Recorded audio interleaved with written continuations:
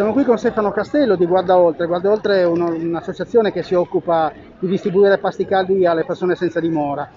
Eh, che cosa ne pensa di della polemica che c'è stata questa settimana sulle persone senza dimora?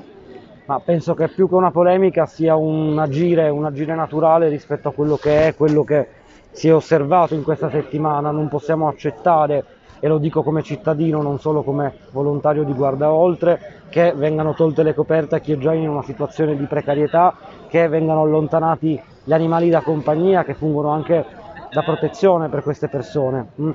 Perché questo genera una sofferenza non solo alle persone ma anche agli animali, quindi bisognerebbe capire qual è il senso di certe iniziative.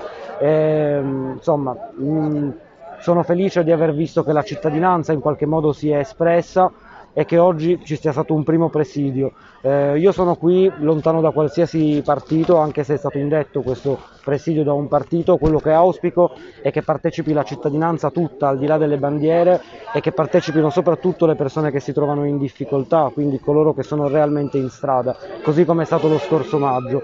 Sicuramente è necessario coinvolgere queste persone perché forse neanche sapevano dell'iniziativa di questa mattina e ci prodigheremo per questo. Mi sembra molto importante che ancora una volta queste persone si uniscano e che non vengano relegate agli angoli sempre più nascosti, no? perché hanno poi anche il timore di perdere quelle due cose che hanno, visto che vengono buttate via davanti ai loro occhi. Invece è importante che si riuniscano perché così come è stato a maggio, degli obiettivi si possono raggiungere se siamo uniti, se siamo insieme, se ci facciamo sentire con un'unica voce.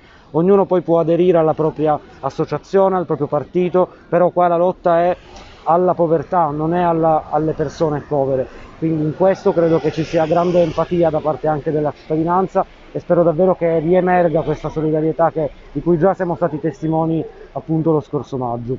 Grazie.